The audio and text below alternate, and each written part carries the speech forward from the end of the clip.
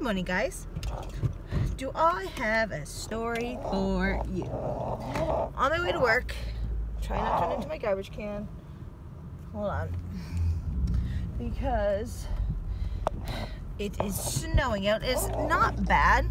Like the main roads aren't even covered yet, but figured I'd go early and then don't have to worry about the roads being slippery or whatever. So anyway, so get this is what happened to me this morning. So every day I, or not every day, when it's really cold out or my car is like frosty, um, snow covered or whatever, I go out 15 minutes before I have to leave, like to take Alexis to school, and I start my car so that it warms up and thaws out and all that stuff.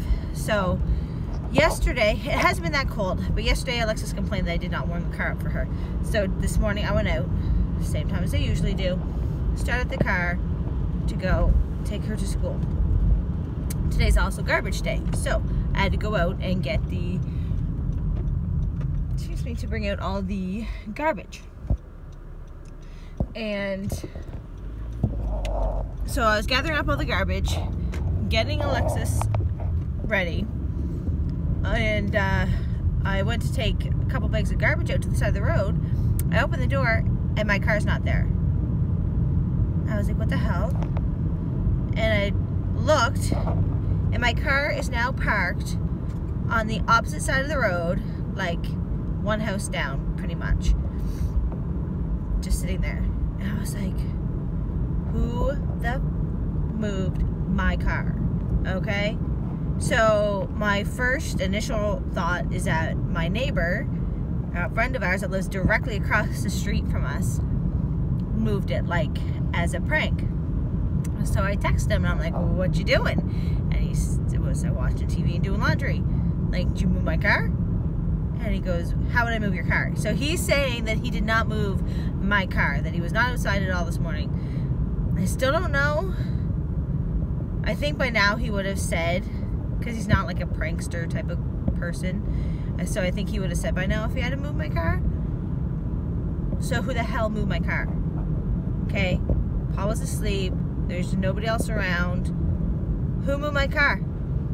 Paul thinks that the kids moved my car because all the high school kids are also walking past and going to the bus stop, which is just up the road from us.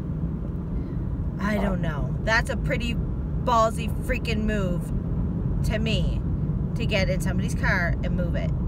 Because if I'd have caught you, then you're going to be charged with theft. Because why else would you be in my car, right? So, I don't know. I'll keep you guys updated if Greg um, decides to tell me later on today that he did in fact move my car to freak me out. Which I kind of hope that's what happened. I hate to think that a kid get in my car and try to drive it. Hmm. We shall see. I'll definitely keep you guys updated on that. Um, and now, like, I can lock my car. I can start my car and then lock it. Um, and I have the ability to unlock it, obviously. So I'm going to do that from now on, just in case it was the kids, because I ain't having that. So anyway, that's my little what that happened this morning. And yeah, so let me know if anything like that's happened to you guys, and I'll keep you posted if I find out who actually did it. Okay, talk to you guys later. Bye.